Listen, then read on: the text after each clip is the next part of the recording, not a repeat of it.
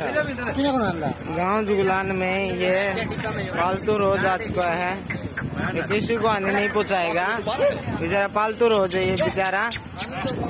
गाँव में शौक है तो उसका बहुत ज़्यादा शौक है इसका।